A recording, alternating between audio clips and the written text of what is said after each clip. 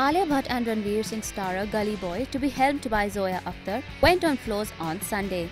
And finally, it's day one of Gully Boy, such a special film for me for various reasons. Wish me luck, your support and love means the world to me. Let's do this, Ranveer, Zoya, Alia tweeted. Now, a few pictures from the sets of the film has gone viral where a clean-shaven Ranveer Singh and his co-star Alia Bhatt with a headscarf is seen. The movie, backed by Farhan Akhtar and Ritesh Sidhwani's Excel Entertainment, is reportedly a coming-of-age story based on the lives of street rappers in Mumbai. Sidhwani shared the clapperboard of the movie while Farhan wished the team all the best as the adventure begins.